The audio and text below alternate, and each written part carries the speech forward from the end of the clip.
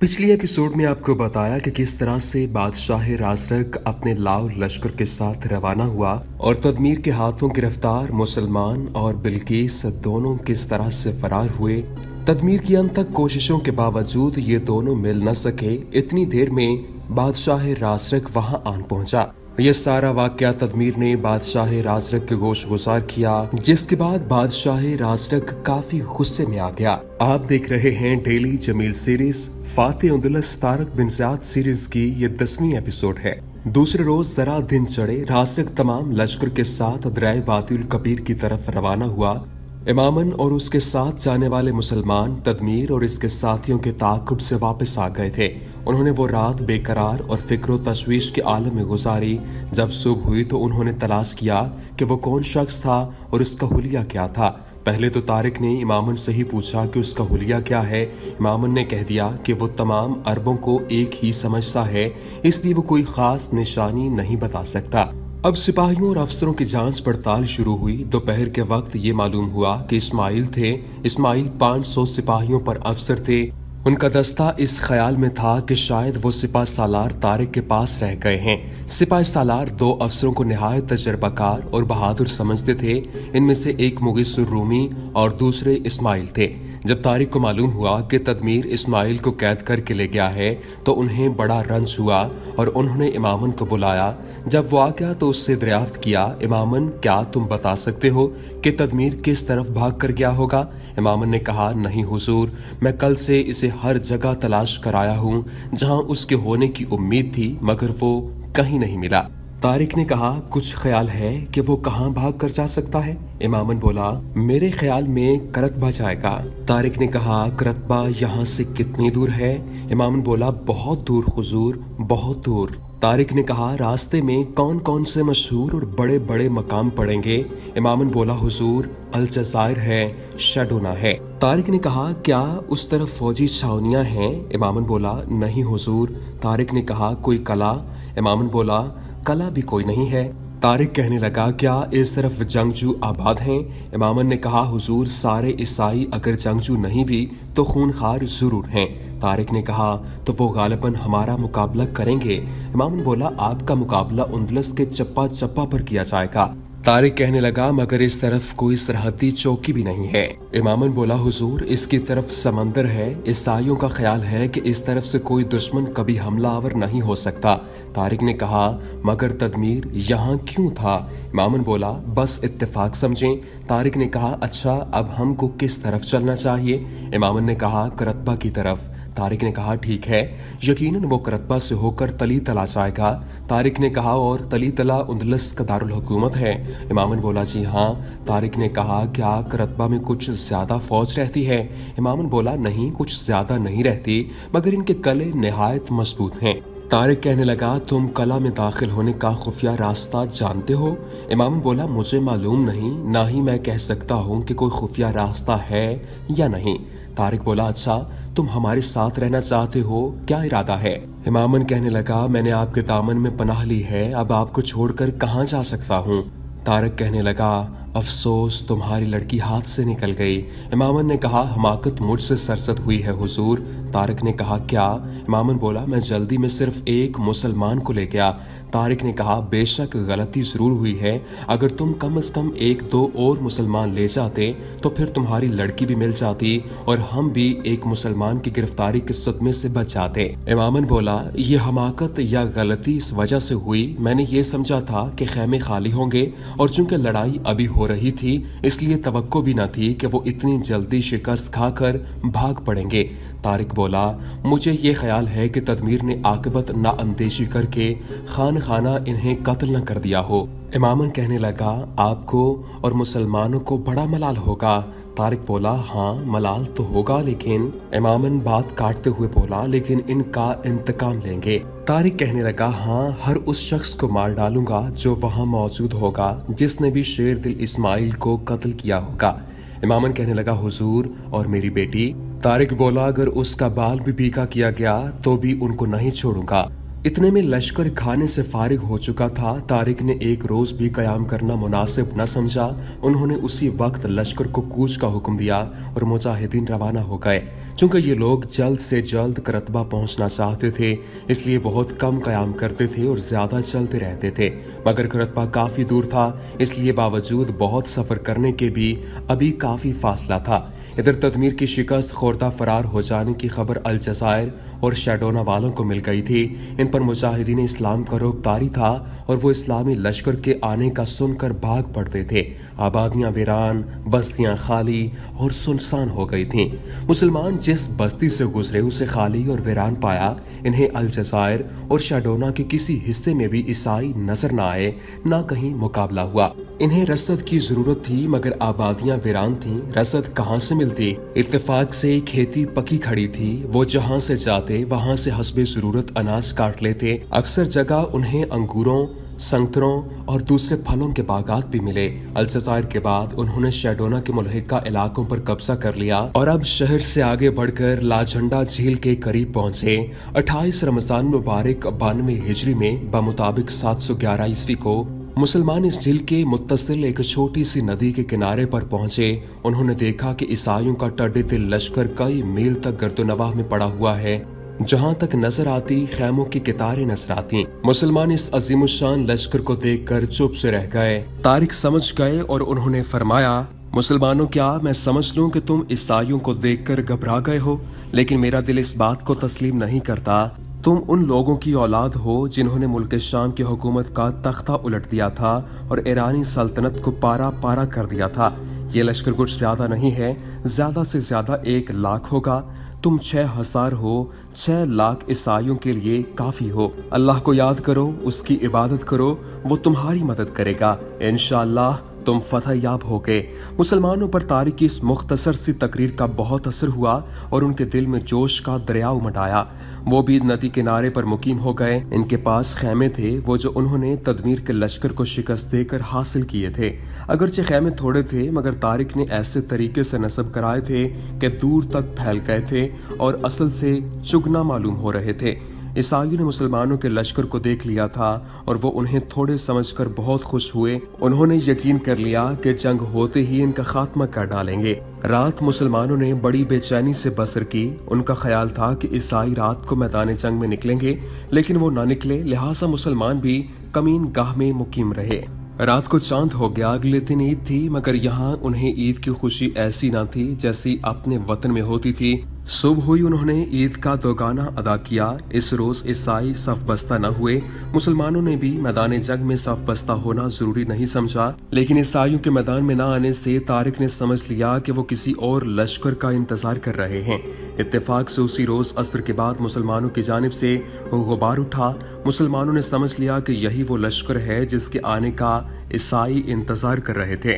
मुसलमान इनका मुकाबला करने के लिए तैयार हो गए। थोड़ी ही देर में गुबार छट गया और आने वालों की सूरतें और लिबास नज़र आने लगे। ये सब पैदल थे और अरबों का लिबास पहने हुए थे। मुसलमान इनको देखकर खुश हो गए और उन्होंने अल्लाह अकबर का गुलगला अंदाज नारा लगाया। जब वो करीब आए तो वो तमाम मुसलमान थे, वो इनसे बगलगीर हो गए। तारिक और इनके साथियों को मालूम हुआ कि ये लश्कर मूसा ने इनकी मदद के लिए भेजा है। ये लश्कर पाँच हज़ार था, अब मुसलमानों की तादाद बारह हज़ार हो गई थी। ये लश्कर भी आकर फरोश हो गया और मुसलमानों ने वो रात नहायत मुसरत से बसर की। नाजरीन ग्रामी, हम बयान कर चुके हैं कि बिल्किस को तदमीर ने आज़ाद कर दिया था और वो लश्कर में जहाँ चाहती जा सकती थी, वो अपने खेमे से बाहर न निकलती थी, बल्कि हर वक्त अंदर ही रहती थी। जब लश्कर कूच करता तो वो भी सिपाहियों के साथ चल पड़ती, मगर खूब जानती थी कि इसे रासरिक के पास ले जाया जा रहा है और वो इससे शदीद नफरत करती थी। इतनी नफरत कि वो इसके पास जाने के बजाय मौत की आगोश में जाना पसंद करती थी। इसलिए वो इस ताक में थी कि कहीं कोई मौका मिले तो वो और इस्माइल इसकी दस्तरस से भाग निकले। चुनाचे इसने एक मरतबा पहाड़ के ऊपर इस्माइल को मुतनबे कर दिया था। जिस रोज रात को ईसाइयों का लश्कर दामने कोह में जाकर ठहरा, उसने तहिया कर लिया कि आज ज़रूर भाग निकलेंगे। चुनाचे वो खाना खाकर जल्दी ही सो गई थी। उसके खेमे के सिपाहियों ने झाँक झाँक कर देखा। उन्हें इतमान हो गया और वो भी खेमे के सामने ही पड़कर सो गए। ठीक आधी रात के वक्त बिल्किस की आँख खुली और वो घबरा कर उठ बैठी। इसके खेमे के अंदर अंधेरा हो रहा था। वो आहिस्ता से उठी और बे कदमों से बाहर निकल आई। चाँद निकल रहा था और चांदनी चटक रही थी। उसने देखा कि इसके मुहाफिज गफलत की नींद सो रहे हैं और इनकी तलवारें इनके पहलुओं में पड़ी थीं क्योंकि आधी रात का वक्त था। इसलिए हर तरफ़ सकूत मर्ग छाया हुआ था और हर जीरूह आराम कर रहा था। हवा बंद थी, नीज दरख्त अपनी शाखें समेटे महवे खाब थे। इस वक्त कायनात के जर्रे जर्रे पर मोहरे खामोशी लग चुकी थी। चाँद आसमान का दरीचों से झाँक रहा था। वो देख रहा था कि दुनिया वाले तमाम कामों और सारी बातों से बेनियास होकर गहरी नींद में जा चुके हैं। बिल्किस वापस लौटी। उसने शब खाबी के कपड़ों के ऊपर अपनी पोशाक पहनी और पंजों की हलचल करके दरवाजे पर आई। मुहाफिज अभी तक पड़े खराटे ले रहे थे। वो एक कदम निहायत होशियारी से थम थम कर रखती। कुछ झुकी हुई खौफसदा निगाहों से मुहाफिज को देखती। खैमा से बाहर निकल आई। चंद मिनट का फासला उसने कई मिनट में तय किया। चूँकि मुहाफिज जैन दरवाजे के सामने पड़े सो रहे थे, इसलिए वो अपनी कबा के दामन समेटकर उनके पास से हुसरने लगी, जब उनसे दो कदम आगे बढ़ी तो दफातन उसे ख्याल आया, वो फिर वापस लौटी और एक सिपाही की तलवार उठा ली और नहायत आहिस्तगी और होशियारी से चली। वो बखरियत मुहाफिजों से गुजर गई और अब खैमों की आड़ लेकर उसकी तरफ़ चलने लगी। जिस तरफ़ इस्माइल थे, उसने दिन में ही देख लिया था कि इस्माइल को किस तरफ़ रखा है। वो उसी तरफ़ चली गई। जब उस जगह पहुँची तो उसने देखा कि मुहाफिज और इस्माइल सब गाफिल पड़े सो रहे हैं। उसने दिन में इस्माइल से कह दिया था कि वो रात को होशियार होकर सोएँ, लेकिन वो गफलत में थे। उससे बड़ा अफसोस हुआ। ईसाई इनकी हिफाजत भी बड़े अजीब तरीके से करते थे। वो इनके हाथों में सूती रस्से बांधकर अपनी कमर के गिर्द लपेटते थे, ताकि इस्माइल अगर जरा भी हरकत करें तो इनकी आँख खुल जाए। हसब दस्तूर आज भी वो उसी तरह से बंधे पड़े थे। बिल्किस ने करीब जाकर नहायत आहिस्ता से खांसा, इनके सरहाने बैठ गई और झुककर तलवार से रस्से काटने लगे। मगर झुककर इतना करीब हो गई कि उसे अपने रुखसारों पर उसका सांस महसूस हुआ। एक ही मिनट में बिल्किस ने दोनों रस्से काट दिए और इस्माइल को उठने का इशारा किया। इस्माइल खूब जानते थे कि जरा भी बेहतियाती हुई तो पहरेदार जाग जाएँगे। इसलिए वो निहायत एहतियात से इस तरह उठे, जिस तरह कोई माँ अपने बच्चे के उठ जाने के खौफ से नहायत आहिस्तगी और बड़ी एहतियात से उठा करती है। वो उठकर खड़े हो गए और खुशकिस्मती से पहरेदारों की आँख न खुली। उन्होंने मुसरत से खुश होकर बेखुदी में उसके हाथों को अपने हाथों में लेकर दबाते हुए कहा, शुक्रिया, रश के हूर। बिल्किस ने उंगुश्त शहादत से अपने नाजुक लबों पर उंगली रखकर उसे खामोशी का इशारा किया और कहा, बरए मेहरबानी, यहाँ से चलिए। वो चुपचाप वहाँ से निकल आए और दबे कदमों, चांदनी और सिपाहियों से बचते हुए पहाड़ की तरफ़ चलने लगे। चूँकि तमाम सिपाही ख्वाब खरगोश के मज़े ले रहे थे, इसलिए इस कदर सुकून था कि जरा से खटके की आवाज़ भी दूर तक तक सुनाई देती थी। ये दोनों खामोशी से आगे बढ़ते चले जा रहे थे। कुछ दूर चलकर इस्माइल ने अपना हाथ बिल्कीस के शाने पर रखा और इसे रोका। वो रुक गई। उन्होंने उसके कान में कहा, तुम ये तलवार मुझे दे दो। बिल्कीस ने भी उसी लहजे में कहा, तुम इसका क्या करोगे? इस्माइल ने कहा, अगर कोई अचल रसीदा बेदार हो गया तो मैं इसे हमेशा के लिए खामोश कर दूँगा। बिल्किस बोली, मगर मुमकिन है इससे और लोग भी जाग जाएँ। इस्माइल ने कहा, तुम फ़िक्र ना करो, मैं इसका इस्तेमाल सिर्फ़ उस वक्त करूँगा, जब कोई चारा नहीं होगा। हाँ मैं भी यही चाहती हूँ, इसने तलवार दे दी। इस्माइल ने इसे लेकर तोला। बिल्किस ने जल्दी से कहा, ये क्या करने लगे हैं आप? इस्माइल बोला, घबराओ नहीं, मैं तलवार खुद जाँच रहा था। बिल्किस ने कहा, मेहरबानी करके इस वक्त जांचना भी बंद कर दीजिए। इस्माइल ने कहा, बेहतर है, तुम्हारे हुक्म की तामील करना ही पड़ेगी। बिल्किस ने होश रुपा निगाहों से इस्माइल को देखा और मुस्कुराने लगी। अब इस्माइल आगे हो गए और बिल्किस पीछे, मगर सिर्फ़ एक कदम के फासले से दोनों आगे पीछे चलकर खैरियत से लश्कर के किनारे पर निकल आए। दोनों को इससे बड़ी मुसरत हुई। अब उन्होंने अपनी रफ्तार जरा तेज कर दी और इस एहतियात का ख्याल न रखा जो कि खैमों में करते रहे थे, चंद कदम ही चले थे कि इस्माइल का पैर एक सिपाही के ऊपर जा पड़ा। वो घबरा कर उठा और बड़बड़ाते हुए बोला, कौन बेवकूफ़ है? इसके बोलते इस्माइल ने तलवार उठाई। वो तलवार की चमक देखकर घुग्या गया और हाथ जोड़ते हुए इस्माइल की तरफ़ देखने लगा। पहले तो वो कुछ नहीं समझा था कि नींद से बेदार हुआ था, मगर अब जो उसकी नज़रें, उनके लिबास और चेहरे पर पड़ी तो वो काम किया। उसने कहा, रहम कीजिए। इस्माइल खूब जानते थे कि वो ना इसकी बात समझ सकते हैं और इसका गुफ्तगु करना दूसरों को बेदार कर देना है। उन्होंने इशारे से इसे खामोश रहने को कहा, चुप। और वो चुप हो गया। ये दोनों बढ़कर खैमों से बाहर निकल आए, मगर सिपाही इस कदर खौफजदा था कि फिर भी शोर करने की ज़रूरत ना हुई और वो नहायत सुकून से पड़ा रहा। यहाँ तक कि फिर सो गया। सुबह होते ही उसने इस वाक़े का ज़िक्र किसी से इसलिए नहीं किया कि तदमीर इसकी बुजदिली पर इसे कत्ल कर डालेगा। इस्माइल और बिल्किस दोनों मैदान को तय करके पहाड़ पर चढ़ने लगे। चूँकि वो अब लश्कर से काफ़ी फासले पर आ गए थे, इसलिए उन्होंने इतमान का सांस लिया। अब इस्माइल ने कहा, परी जमाल तो शीशा अब तो मैं तुम्हारा शुक्रिया अदा कर सकता हूँ। बिल्किस ने शोखी से मुस्कुराते हुए कहा जी नहीं, इसकी कोई ज़रूरत नहीं है। इस्माइल समझ गए कि बिल्किस इतनी सीधी सादी भोली बाली मासूम नहीं है, बल्कि इसके बरअक्स नहायत शोक और परले दर्जे की शरीर है। चूँकि वो गिरफ़्तार थी, इसलिए भोली और सीधी नज़र आती थी। उन्होंने कहा, मगर मुझे शुक्रिया तो अदा करना ही चाहिए। बिल्किस ने दिल रुबा अंदाज में कहा, मगर आप शुक्रिया अदा ही क्यों करें? इस्माइल ने कहा, क्या तुमने काबिल तारीफ़ काम नहीं किया?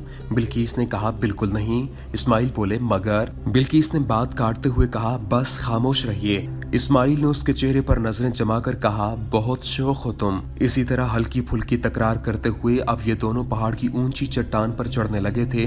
अगरचे चांदनी ने सारे पहाड़ पर सफ़ेद चादर बिछाई हुई थी, मगर ये दोनों आपस में इस कदर मगन होकर बातें करते आ रहे थे। न उन्होंने दर्रे को देखा, न घाटी को, बल्कि सीधी चट्टान पर चढ़ने लगे। इस चट्टान पर, जो सबसे ज़्यादा ऊँची और सीधी थी कि दिन में भी कोई इस पर चढ़ने की ज़रूरत न करता। इस्माइल आगे थे और बिल्किस पीछे सहारा लिए चली जा रही थी। जब वो इस चोटी पर पहुँचे तो चाँद छुपने लगा था और सुबह साधक के आसार निकल आए थे। इस्माइल ने कहा, अब सुबह हो रही है। गालिबन ईसाई हमें न पाकर हमारी तलाश में निकलेंगे, मगर ये हम कहाँ चढ़ाए हैं? जरा झाँक कर देखें। इस्माइल ने चौंक कर देखा और हैरान हो गया और चट्टान से कई सौ फुट नीचे उन्होंने हैरान होकर कहा, ये हम कहाँ आ गए हैं? बिल्किस ने कहा, खैर, अब आ गए हैं तो मगर उतरेंगे कैसे? इस्माइल ने कहा, जो अल्लाह हमें यहाँ तक लाया है, वही हमें नीचे भी ले जाएगा। देखो, आफ्ताब मशरक से झांकने लगा है और ईसाई उठने लगे हैं। चलो, पीछे हट जाएँ। इस वक्त आफ्ताब तुलू होने लगा था। ईसाई उठकर इधर उधर फिरने लगे। ये दोनों पीछे हट गए और एक ऊँचे पत्थर के पीछे चले गए। क्योंकि पहाड़ की चोटी सबसे ऊँची थी, इसलिए किसी को ख्याल भी न हुआ कि वो दोनों वहाँ पर हो सकते हैं। ईसाई उन्हें तलाश कर कर के वहाँ से चले गए और उन्होंने इस चोटी को न देखा।